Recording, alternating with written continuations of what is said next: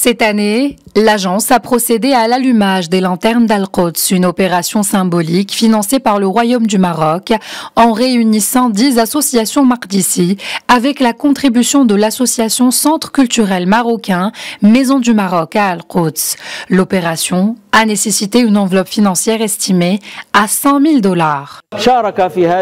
Les activités et les programmes initiés par l'agence Baitman Al-Quds Sharif au profit de la ville sainte et de ses habitants viennent atténuer les pressions vécues par les habitants d'Al-Quds au vu des événements douloureux que connaît la ville. Le programme de l'Agence pour le mois de jeûne en ce mois sacré comprenait le lancement de l'assistance sociale destinée aux catégories vulnérables avec une somme de 100 000 dollars distribuée à près d'un millier de familles dans 124 orphelins parrainés par l'agence, 500 familles pauvres, 131 gardiens des écoles d'Al-Quds et 80 familles de personnes en situation difficile.